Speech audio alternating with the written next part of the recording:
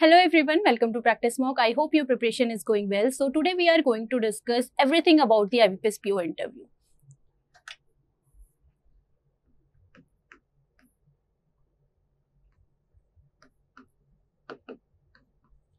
So so, ये distribution है आपके मेंस के मार्क्स का और ये है आपका इंटरव्यू के मार्क्स का 225 का आपका मेंस कंडक्ट होता है एंड 100 मार्क्स का आपका इंटरव्यू कंडक्ट होता है जो कि पीआई पर्सनल इंटरव्यू है सिंस आईबीपीएस में आ, आपका जीडी नहीं होता है तो यहाँ पे सिर्फ़ पर्सनल इंटरव्यू होता है जो कि हंड्रेड मार्क्स का होता है। अब मेंस के एग्ज़ाम के बाद बच्चे ये वेट करते हैं कि मेंस का रिज़ल्ट आए उसके बाद हम इंटरव्यू के लिए प्रिपेयर करना स्टार्ट करें। फिर मेंस के रिज़ल्ट के बाद उन्हें ये भी कन्फ्यूज़न रहता है कि क्या लेट से अगर कट ऑफ़ एट्टी है तो उन्हें ये कन्फ्यूज़न रहता है कि अगर सिर्फ़ मेरे टेन से टेन प्लस मार्क्स का गैप नहीं है लाइक like अगर एट्टी कट ऑफ़ है नाइन्टी मार्क्स नहीं है तो अब यूजलेस है प्रिपेयर करना इंटरव्यू के लिए। But no it's not true बहुत सारे स्टूडेंट्स ऐसे होते हैं जो सेवन मार्क्स के गैप में भी सिलेक्शन ले लेते हैं। अब वो कैसे लेते हैं? बिकॉज़ वो इंटरव्यू में काफ़ी अच्छा परफॉर्म करते हैं।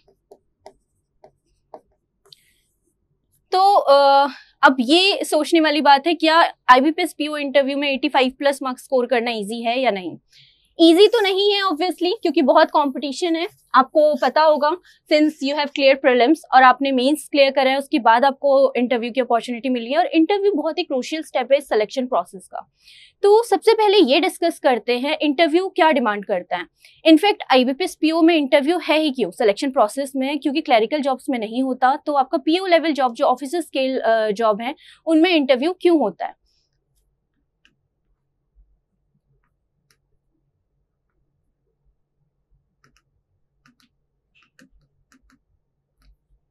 Because of your job profile क्योंकि आपको जो रिस्पॉन्सिबिलिटीज हैंड ओवर कर रहे हैं, उसको चेक करने के लिए। उन्होंने आपका एनालिटिकल लॉजिकल सब कुछ टेस्ट कर लिया है। इनफैक्ट आपकी करंट अफेयर्स की नॉलेज टेस्ट कर ली है। अब वो ये देखना चाहते हैं, आप कितने स्मार्ट हो। आप अंडर प्रेशर कैसे वर्क करते हो? या सिचुएशनल जो क्वेश्चन पूछ कर वो ये देखते हैं कि डिफरेंट सिचुएशंस में आप कैसे रिएक्ट करते हो? Right right? अभी एक मिथ ये रहता है स्टूडेंट्स को कि इंटरव्यू बस करंट अफेयर से रिलेटेड है। नहीं, ऐसा नहीं है। अगर सिर्फ़ करंट अफेयर्स से रिलेटेड होता तो मेंस में करंट अफेयर्स हटा के डायरेक्टली वो इंटरव्यू का सिलेबस करंट अफेयर्स कर सकते थे राइट तो इंटरव्यू अगर हम देखें तो वो डिवाइडेड है फोर टू फाइव सेक्शंस में। फ़र्स्ट सेक्शन होता है अबाउट यू अगर आप कहीं पे भी इंटरव्यू दे रहे हो तो जो फ़र्स्ट क्वेश्चन अराइज होता है tell me about yourself तो सबसे पहले आपको अपने यू जो भी इंटरव्यू दे रहा है वो उसे अपने बारे में पता होना चाहिए। अपने बारे में क्या पता होना चाहिए? आपको अपना होम स्टेट पता होना चाहिए। अपने एजुकेशन के बारे में, आपसे ग्रेजुएशन के बारे में आपके क्वेश्चन पूछ सकते हैं। अगर आप वर्किंग प्रोफेशनल हो तो आपके वर्क एक्स को लेकर क्वेश्चन अराइज हो सकते हैं। अगर आप इंडस्ट्री स्विच कर रहे हो, आप आईटी में हो और आप बैंक में जाना चाहते हो तो आपसे पूछ सकते हैं। अगर आपने इंजीनियरिंग करी है, उसके बाद आप बैंक में जाना चाहते हो तो आपसे क्वेश्चन अराइज हो सकते हैं। प्लस आपके पेरेंट्स का प्रोफेशन जो है, उससे रिलेटेड क्वेश्चन आपसे पूछ सकते हैं। सेकेंड आपका होम स्टेट जो भी है आपका होम टाउन में कुछ फ़ेमस है तो वो पूछ सकते हैं कि क्या फ़ेमस है। ये ही नाम क्यों है? वहाँ पे क्या स्पेशलिटी है उसकी? अगर कोई टूरिस्ट स्पॉट है तो वो कौन से हैं? चाहे जो भी क्वेश्चन uh, है तो सबसे पहले आपको अपने एजुकेशन से रिलेटेड क्वेश्चन uh, सब कुछ देखने हैं। अपना रेज्यूमे uh, में जो भी लिख रहे हो उसको गो थ्रू करो और वो सब आपको पता होना चाहिए। कहीं पे भी आपको ब्लफ नहीं करना है। तो ये एक पार्ट होता है ठीक है? प्रोफ़ाइल बेस्ड क्वेश्चंस का। दूसरा पार्ट आता है आपका सीए और स्टैटिक बैंकिंग सिंस आप पहले आपसे आपके बारे में पूछेंगे अब आप जहाँ जा रहे हैं उसके बारे में पूछेंगे। तो आप अगर बैंक में जा रहे हो तो आपको पता होना चाहिए बैंक कैसे वर्क करता है उसकी बेसिक ऑपरेशंस क्या है। अगर आज आ, हम हंड्रेड रुपीज़ वहाँ पे डिपॉजिट कर रहे हैं बैंक में तो वो उस हंड्रेड रुपीज़ के साथ क्या होता है? बैंक इंटरेस्ट कैसे दे पाता है? या जो लोन हम बैंक से लेते हैं तो उस इंटरेस्ट का बैंक क्या करता है?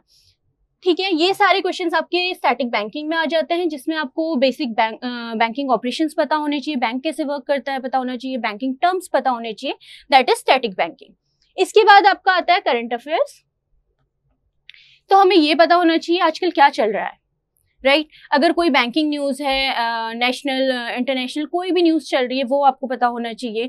इसके लिए आपको डेली अपडेटेड रहना पड़ेगा, आपको न्यूज़पेपर पढ़ने चाहिए, आपको मैगजीन्स पढ़नी चाहिए। ये आपका यहाँ से कवर हो जाता है। इसके बाद आपका जो थर्ड फ़ेज़ हम बोल सकते हैं दैट इज़ सिचुएशन बेस आपसे डिफरेंट सिचुएशंस आपको बताकर केसेस आपको बताकर आपसे पूछेंगे कि आप क्या डिसीज़न लेंगे। यहाँ पे आपकी टेस्ट होती है डिसीज़न मेकिंग कि पर्टिकुलर सिनारियों में आप कैसे रिएक्ट करते हो, आप क्या डिसीज़न लेते हो।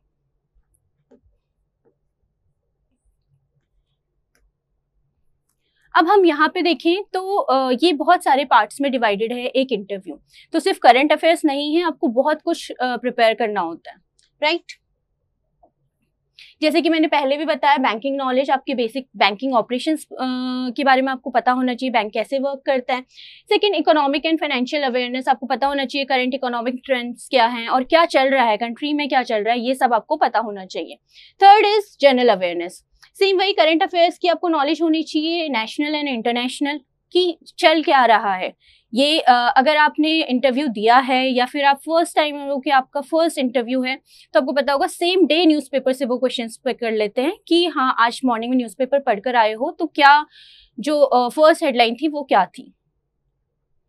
थर्ड इज़ पर्सनल इन्फॉर्मेशन जहाँ आपको ये पता होना चाहिए, आपके रिज्यूमे में जो भी आपने मेंशन किया है, और बेसिक क्वेश्चन होते हैं tell me about yourself आपकी स्ट्रेंथ क्या है, आपकी वीकनेस क्या है, ये बहुत ही सिंपल क्वेश्चन हैं बट यहाँ पे बहुत ही ट्रिकी हो जाता है कि स्टूडेंट्स अपनी स्ट्रेंथ और वीकनेस नहीं बता पाते हैं। अगर आप ये बोलो कि कोई वीकनेस नहीं है तो वो भी एक नेगेटिव एक नेगेटिव प्रोफ़ाइल आपकी दर्शाता है कि हाँ इसमें कैसे कुछ भी वीकनेस किसी की कैसे नहीं है। अगर आप अपनी स्ट्रेंथ में सब कुछ ही बता दोगे तो वहाँ पे भी एक नेगेटिव पॉइंटर है। तो बहुत ही अच्छे से आपको क्यूरेट करना होता है कि आपको क्या बोलना है, बहुत सोच समझ के। ऐसा नहीं है कि वहाँ पे जाओ और इंस्टेंट आपने आंसर्स दे दिए। पहले से प्रिपेयर करो एक एक क्वेश्चन पिक करो और उनके आंसर्स पहले से लिख कर रखो। थर्ड इज़ जो बहुत इंपॉर्टेंट है that is situational and behavioural question अब यहाँ पे आपको स्ट्रेस कैसे हैंडल करना है प्रेशर कैसे हैंडल करना है बिकॉज़ आपको पता होना चाहिए एक पीओ के ऊपर कितना प्रेशर होता है। बैंक में आप बहुत बार गए हो, अगर आप एसबीआई बैंक में गए हो बहुत बार तो ये बहुत ही कॉमन रहता है कि थोड़ी देर बाद आना या बहुत लाइन लगी रहती है, बहुत, आपको टाइम ही नहीं मिलता है उनके साथ इंटरेक्ट करने का, उनके पास इतना वर्क होता है। तो वर्क प्रेशर इतना है तो आपको उस प्रेशर में हैंडल करना होता है कस्टमर्स को, वो भी पोलाइटली तो इसलिए ये वाला जो सेक्शन है, ये बहुत इंपॉर्टेंट हो जाता है आपके लिए। सेकेंड कि आपको बैंकिंग प्रोडक्ट्स एंड सर्विसेज़ पता होने चाहिए कि अगर आपने यहाँ पे कौन, किसी भी बैंक प्रेफरेंस में आपने प्रेफरेंस भरी है तो उस पर्टिकुलर बैंक के बारे में तो आपको पता ही होना चाहिए। फ़र्स्ट क्वेश्चन अराइज होता है कि ये आपकी फ़र्स्ट प्रेफरेंस क्यों है? सेकेंड की यही इसके बारे में आप बताइए। हेडक्वार्टर कहाँ है? चेयरमैन कौन है? या कोई न्यू प्रोडक्ट है? क्वार्टरली रिजल्ट्स कैसे रहे हैं? तो ये सारे क्वेश्चन आपके वहाँ से स्टार्ट होते हैं, जो आपकी प्रेफरेंस लिस्ट है। ठीक है फ़र्स्ट प्रेफरेंस ये क्यों है? सेकंड प्रेफरेंस ये क्यों है? और उसके बाद आपको उनके वैलिड रीजन यानी कि हाँ उस बैंक में गए थे और वो अच्छा है देखने में। ऐसा नहीं है। क्योंकि बहुत कम चांसेस हैं कि जिस बैंक में आप गए थे उस पर्टिकुलर बैंक में ही आपको पोस्टिंग मिले राइट तो यहाँ पे वैलिड रीजन आपके पास होने चाहिए कि यही फ़र्स्ट प्रेफरेंस आपकी क्यों है। थर्ड अगर हम आए करंट अफेयर्स इन बैंकिंग अगर uh, कोई मर्जर हुआ है तो uh, कौन कौन से बैंक्स का हुआ है? चेंजेस हुए हैं इंटरेस्ट रेट्स में तो वो आपको पता होना चाहिए। गवर्नमेंट पॉलिसीज़ जो बैंकिंग इंडस्ट्रीज़ में हो रही हैं वो आपको पता होना चाहिए। इसके बाद आपका आता है रोल स्पेसिफिक क्वेश्चन सेम कि आपको पता होना चाहिए कि एक पीओ की रिस्पॉन्सिबिलिटीज क्या होती हैं। वो एक अंडरस्टैंडिंग आपको होनी चाहिए कि अगर आप जा रहे हो बैंक में तो आपको वहाँ पे क्या डील करना है, किससे डील करना है। इसके बाद आप कैसे प्रिपेयर कर सकते हो? अब स्टैटिक बैंकिंग भी स्टूडेंट्स को लगता है कि हम ये बैठकर कैसे पूरा इतना कवर करें। तो इतना सिलेबस है ही नहीं, आपको बेसिक बैंकिंग ऑपरेशन समझना होता है। अगर अभी रिसेंट में मॉनिटरी पॉलिसी हुई है तो उसमें रेट चेंज हुए हैं repo rate rate reverse repo rate change हुए हैं या नहीं है? सीआरआर और एसएलआर हमें क्यों मेंटेन करना होता है? तो ये बेसिक अंडरस्टैंडिंग वो आपसे एक्सपेक्ट करते हैं कि एटलीस्ट आपको इतनी चीज़ें आती हों। आप ऑब्वियसली एक्सपर्ट नहीं हो क्योंकि सब लोग बहुत वेरियस बैकग्राउंड से होते हैं। कोई आपका इंजीनियरिंग से आ रहा है तो किसी ने बीए करा हुआ है, कोई बीबीए करके आ रहा है तो वो नहीं एक्सपेक्ट कर रहे हैं कि हाँ बैंकिंग एक्सपर्ट हो but this is minimum they are expecting from you अगर आप टिप्स फॉर प्रिपरेशन देखें तो सबको पता है क्या करना है। अगर हमें ये पता है कि बैंक डिमांड क्या कर रहा है या सिलेबस क्या है क्योंकि इंटरव्यू के लिए हम क्यों नहीं प्रिपेयर कर पाते हैं? क्योंकि हमारे पास एक सेट ऑफ़ क्वेश्चंस नहीं है। Set of you can say कि हमारे पास ये नहीं है कि इन टॉपिक्स से आपको पढ़ना है। ठीक है? जैसे हमारे पास क्वांट का सिलेबस है रीजनिंग का सिलेबस है इंग्लिश का है तो इंटरव्यू में कुछ भी पूछ लेते हैं। बट ऐसा नहीं होता। यहाँ पे वर्क करता है इंटरव्यू ड्राइव करना। आपने बहुत बार सुना होगा कि आप अपना इंटरव्यू ड्राइव कर सकते हैं। अब वो कैसे कर सकते हो? अगर आपसे फ़र्स्ट क्वेश्चन पुट किया है tell me about yourself आप अगर वहाँ पे जो मेंशन कर रहे हो ठीक है अगर आपने इंजीनियरिंग मेंशन किया है वहाँ पे आप बोल सकते हो कि मेरा फेवरेट सब्जेक्ट ये है। अगर थर्मोडायनेमिक्स अगर आपने मैकेनिकल करी है तो थर्मोडायनेमिक्स सपोज़ आपका लेट से फेवरेट सब्जेक्ट है तो उससे आपको क्वेश्चन पूछेंगे। वर्क एक्स में अगर आप ये अपना वर्क एक्स मैंशन कर रहे हो उसमें कुछ आप अपने अचीवमेंट्स बता सकते हो कि ये मैंने अचीव किया था तो उससे उस पर्टिकुलर प्रोजेक्ट से रिलेटेड आपको क्वेश्चन पूछेंगे। अभी अगर uh, मैंने uh, एक दो बार जो भी uh, मेरा पर्सनल एक्सपीरियंस रहा है इंटरव्यू में तो आपसे हिंदी तक के क्वेश्चन पूछते हैं। तो ये इंटरव्यू ड्राइव करना होता है कि हाँ आप जिस डायरेक्शन में अपना इंटरव्यू ले जा रहे हो, वहाँ पे जाएगा। अगर इन्फ्लेशन की डेफिनेशन आपसे पूछिए इन्फ्लेशन सपोज़ लेट से आपसे बोला गया कि हाँ इन्फ्लेशन के बारे में बताइए। वहाँ पे अगर आप जितने भी उस पर्टिकुलर डेफिनेशन में टर्म्स यूज़ कर रहे हो उन टर्म्स का मीनिंग आपको पता होना चाहिए। यहाँ से आपके बाकी क्वेश्चन uh, अराइज होते हैं। आपसे एनपीए पूछ लिया उसके बाद सीधा आपसे सरवाइसी एक्ट पूछ लेंगे। पीसीए पूछ सकते हैं। तो ये बेसिक क्वेश्चंस होते हैं कि आप ये सोच समझ कर आंसर करना चाहिए कि इस पर्टिकुलर आंसर में मैं कौन कौन से टर्म्स यूज़ कर रहा हूँ।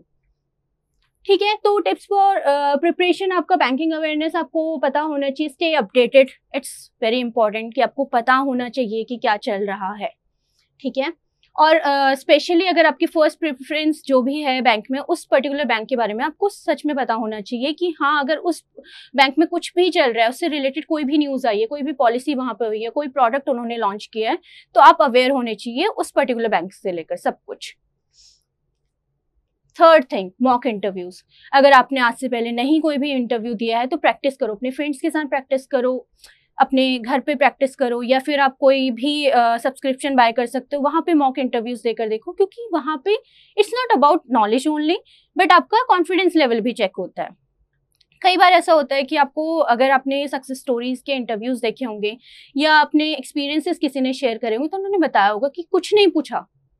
और राइट टेन मिनट्स में बस नॉर्मल दो तीन क्वेश्चन पूछे और कुछ लोग बोलते हैं, बहुत अच्छा हुआ, मैंने सारे ही जवाब दिए थ्री टू फोर बेसिक वो दिए हैं बट उसका बहुत अपोजिट रिज़ल्ट आता है। और राइट तो ये हमें खुद से पता करना होता है कि क्या ये इंटरव्यू अच्छा गया है या नहीं। इसके बाद पर्सनलाइज आंसर्स आप प्रिपेयर करो, क्योंकि सबके रेज्यूमे तो नहीं सेम हो सकते ना। आपकी कंडीशंस नहीं सेम हो सकते तो सबके पर्सनलाइज क्वेश्चन ही पूछेंगे आपके बैकग्राउंड से रिलेटेड और ये होता है आपका सिचुएशन बेस्ड क्वेश्चन ऐसे रखो कि हाँ सपोज़ आप कैशियर काउंटर में अगर बैठे हुए हो या अकाउंट ओपनिंग सेक्शन में आप बैठे हुए हो तो आपके सामने लाइन लगी हुई अचानक से अगर कोई क्यू क्रॉस करके कोई आ रहा है कि it's urgent I need to leave after half an hour please do this तो क्या आप उस टाइम पे ये एक्शन लोगे कि आप उसका करोगे और बाकी दस लोगों को इग्नोर करके उनका काम पहले करोगे? या आपके जो भी आपका मैनेजर है रिपोर्टिंग मैनेजर है, उनका कॉल आया और क्या आप यहाँ के काम छोड़कर उनका काम करोगे? तो ये सिचुएशन बेस्ड ट्रिकी क्वेश्चंस होते हैं जिसमें आपको सोचना होता है। या आप कस्टमर्स को कैसे अट्रैक्ट करोगे कि वो प्राइवेट बैंक से इधर आए? कि पब्लिक आपके बैंक में वो अकाउंट ओपन करें। तो ये कुछ क्वेश्चंस हैं जो आपको प्रिपेयर करने चाहिए सिचुएशन बेस्ड के लिए। नो योर रेज्यूमे जो भी लिख रहे हो, आपको पता होना चाहिए। आप ब्लफ नहीं कर सकते हो, आपने उस पर वर्क किया है तो आप मेंशन करो, नहीं तो आप मत करो। ठीक है? रिसर्च दी ऑर्गेनाइजेशन आपको पता होना चाहिए पीओ के बारे में। और बेसिक क्वेश्चन होता है कि पाँच साल बाद आप अपने आप को कहाँ देखते हो? जब आपको पीओ पता होगा, आपको वो पूरा ट्री पता होगा कि इसके बाद क्या होता है, तभी आप इस पर्टिकुलर क्वेश्चन का आंसर दे सकते हो। In the last one how we can help you so we have launched IBPS PO interview course जिसमें हम प्रोवाइड कर रहे हैं one to one mock interviews one with the PM expert panel members and second with the ex interview panel member okay ex bank GM DGM अब इसमें क्या होता है, जो फ़र्स्ट इंटरव्यू होता है, उसमें भी आपको प्रिपेयर होकर आना होता है।